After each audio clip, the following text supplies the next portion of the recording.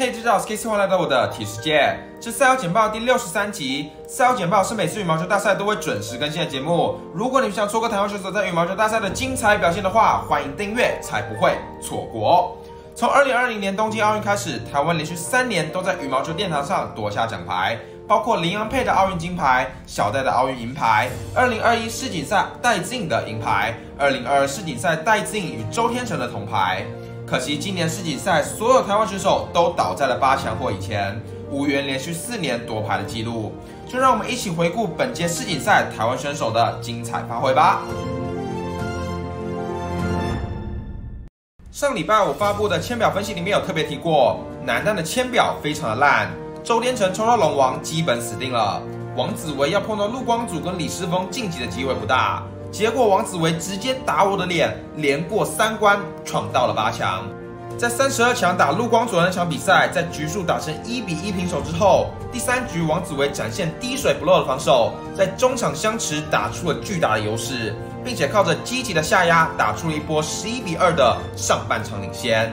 原本以为气力放尽陆光祖，没有想到在下半场直接爆气，在十六比九的时候连拿七分。硬生生把比数追到十六比十六平手，把台湾观众直接吓到了心脏病病发。双方一路纠缠到十八比十九，陆光祖超前了比分。好在王子维最后有稳住，连拿三分逆转比赛。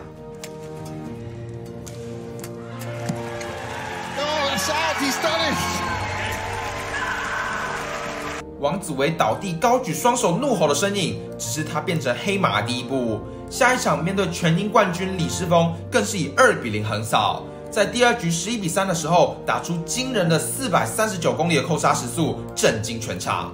Affair in the second game. Oh, again, just look at that. He's finding his lines. 老实说，我已经不记得上一次看到台湾男单选手打出这么快的杀球是什么时候了。但其实这不是我觉得最精彩的一球。我印象最深刻的反而是第二局一比零的时候，王子维连续四球推底线的控场，把我眼镜都跌破了。The player on the far side, yeah, being more the second set, yeah, and being you know the aggression, everything coming through, yeah. Oh. 等一下，这个人真的是王子维吗？我印象中的王子维只会放短接扣杀而已啊，这个连环控场是怎么回事啊？而且这一球最精髓的是，王子维先是连续两球弹到后场，李世峰飞身拦截之后，要回防中场来抓王子维的头顶去高球，结果王子维第三次推同样的落点，把李世峰打出转身。子维这个时候动作非常的刁钻，他在向前跑的时候，注意看他的手已经伸直了，球拍已经摆出来了，这是一个标准的放短动作，这才让李世峰第一个反应是往前跑。结果王子维只用手腕的力量一甩，直接弹到后场绝杀。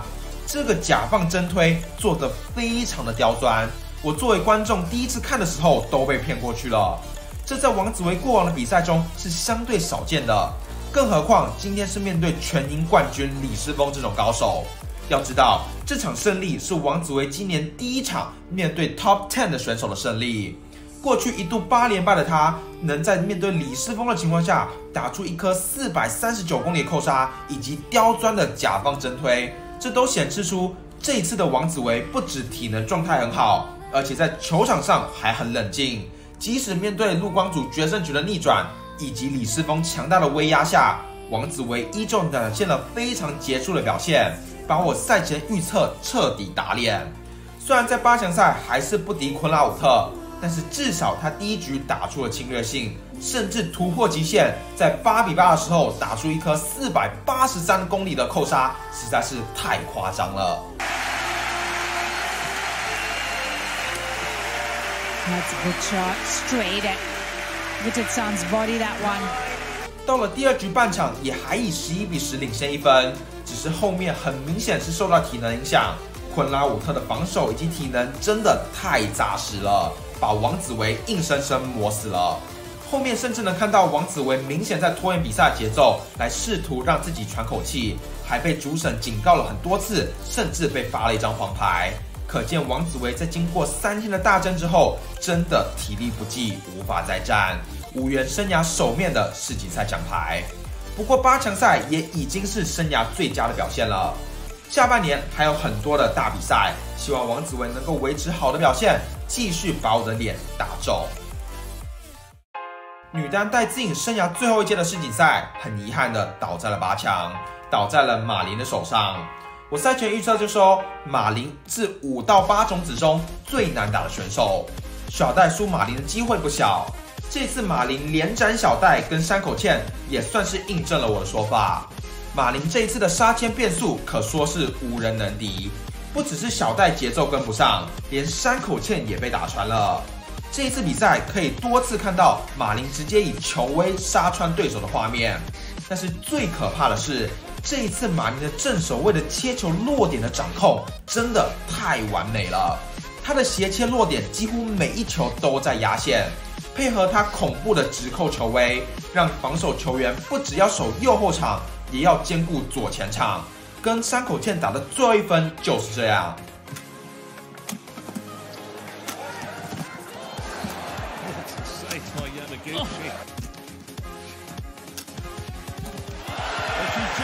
就看今天打球后安行能否发挥这种表现，把生涯第四冠给拿到手。马林已经是女单历史中最多世锦赛冠军的选手了。如果今年连斩三个 F 四夺冠，那不止 F 四要变成 F 五，马林可能就是毫无争议的女单史上最伟大的选手了。至于戴资颖，也确定以二零二一世锦赛银牌作为他生涯最佳的世锦赛成绩。那我看到很多留言说，二零一七年小戴参加世大运是最大的败笔，当年作为小戴的巅峰年，肯定能夺冠之类的留言。对此，我想说的是，如果当年戴资颖没有选择打台北市大运，就不会有那么多人认识戴资颖了，也就不会有后来的台湾羽球风潮。就是因为当年已经是世界第一的戴资颖选择放弃世锦赛，决定把世大运的冠军留在台湾，所以才会有这么多人认识戴资颖，而成为他的粉丝。如果他当年选择参加世锦赛，可能今天就不会有那么多人接触到羽毛球的魅力。戴资颖他可能不是世界冠军，但他毫无疑问的是引领台湾羽坛走向大众化的明星人物，是台湾人心目中的球后。退一步来讲，一八年小戴冠军数量比一七年更多，也还不是倒在八强。二零一九年八强赛十九比二十一输给新度，是当年新度夺冠唯一有被威胁到的一场。明明有冠军实力的戴资颖，就是无法突破八强。那已经不是球技的问题了，而是心态上的问题了。既然如此，又怎么会说二零一七年参赛就一定会有好成绩呢？无论如何，就算戴资颖没有世锦赛金牌，也无损他的羽坛地位。他的技术流打法是革命性的，他逼迫所有的选手都要来研究戴资颖的打法。两百一十四周的球后周数也是不可磨灭的。即使他没有马林这么多冠军，那么伟大又如何？难道戴资颖一定要是史上最伟大的球员才能被台湾人支持吗？不管今天戴资颖的成绩如何，他就是我心目中的冠军，因为是他带我认识羽毛球的，因为有当年的他，才有现在的我。也希望各位能够一起继续支持台湾选手在羽坛上的表现，毕竟他们是代表我们出去争光。也算是不枉费戴资颖为台湾羽坛所做的努力吧。接下来我们来说一点可惜的比赛。许文琪两局十九比二十一惜败给了伊瑟农，是他生涯最接近从伊瑟农手上拿下一局的机会。而许文琪对战所有 Top Ten 的选手，还是没有能开张。另外，混双的新位组合也是错过了三个赛末点的情况下，输给了韩国的金正组合。这场比赛两边的男选手前一阵子都有很大的伤势。所以两边打得非常的纠结。即使如此，新卫组合在拿下第一局之后，第二局一度以十七比十一大幅领先，二十比十七手握三个赛末点的情况下，被连拿五分逆转。第三局十四比十四平手的情况下，气力放尽，被连拿四分拉开。最后新卫组合就这么倒在了十六强。虽然很可惜，没有错啦，奥运积分也有一定的差距。但是考虑到金正在八强赛被虐歪，以新卫这个状态上去也是被雅思虐，还有额外受伤的风险，这个签本来就差不多长这样，所以输了也不算太可惜吧。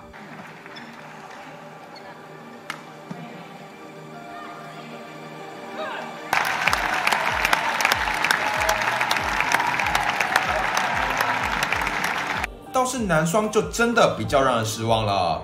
林洋配两周以前出现王琴腰部不适的状况，这场又发生了李阳脚踝不适的医疗暂停。林洋配能否保持健康还是最重要的课题。而杨肉炉两局输给刘欧组合，就真的蛮可惜的。第一局十八比二十落后下，守住了两个局末点，还超前比数自己手握两个局末点，可惜最后还是被逆转。有趣的是，双方上一次交手的比分跟这一场完全一模一样，都是二十四比二十二、二十一比十六，只是胜者互换了。如果第一局有拿下来的话，以杨肉炉这种会越打越猛的气势型男生来说，鹿死谁手还不一定。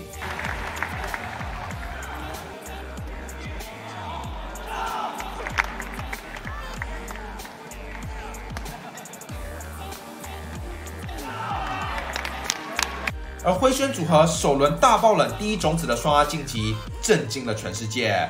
BWF 的官网的头条新闻就是这场比赛。整场比赛虽然分数始终紧咬，但是灰宣组合几乎都保持领先，直到最后完成爆冷。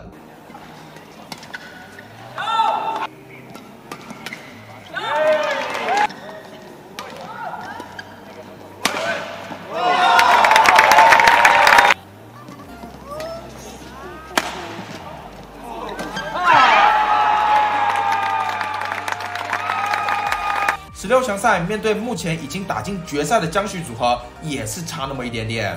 第一局十比十五落后的情况下，连拿五分追平比数，双方纠缠到十八比十七，辉轩一分领先，最后却被逆转。考虑到第二局辉轩组合大比分碾压，辉轩组合这场比赛是真的有获胜机会的。可惜第三局十三比十四，一分落后下被连拿四分奠定败局。韩国百年一见的双打奇才许承载，目前在男双跟混双的项目中都打进了世锦赛决赛，真的是太扯了。他在四天内连打了八场的双打比赛，全部获胜，这已经是超人等级的夸张了。就看他今天能否创造历史，成为世锦赛双冠王了。至于女双的部分，本来我不期不待，结果秦青组合差点上演大爆冷。在拿下第一局之后，第二局连收五个局末点，到了二十三比二十三平手，甚至还有两个赛末点的机会，差点把这对现在拿到世锦赛铜牌的韩国女双给首轮淘汰。Trying to move forward. Oh, caught flat. What it was. Yeah. Caught them flat. Breather shots here. Yeah, yeah, where they slow it down. Oh, They've done it. Found space. absolutely. A little miscommunication. They're loving it. Yeah. She puts into each of these rallies.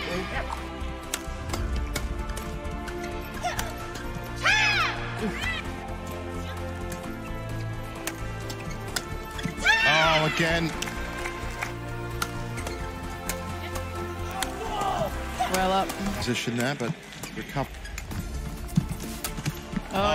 Great kill by Kong. 只能说这次台湾选手真的都差那么一点点，不过也把我的脸打得蛮肿的。希望下礼拜的中国一千赛，他们可以继续加油。谢谢大家今天的 OTG，我是 KC，我们下次再见，Peace out。